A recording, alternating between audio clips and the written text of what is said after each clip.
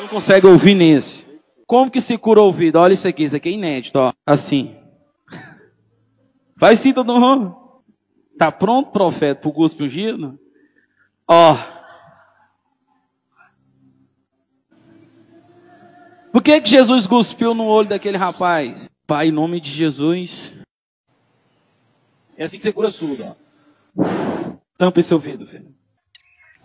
Tava ouvindo assim? Não. É assim que você cura surdo. Bate aqui, profeta. fraca da heresia. Aí não, né, irmãos? Você vai pra igreja pra escutar a palavra de Deus, aí o pastor quer enfiar saliva na sua orelha. Dizendo que é milagre, é o cuspe ungido. Cada uma, né, família? Pior que é verdade, não é brincadeira. Esse rapaz se titula um apóstolo, tem uma igreja, tem fiéis, tem gente que acredita nesse tipo de coisa ainda.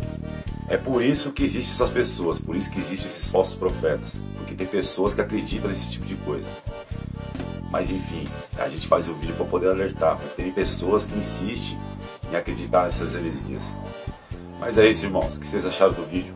Comente aí, deixe sua opinião. E não se esqueçam, hein? E siga para mais conteúdo.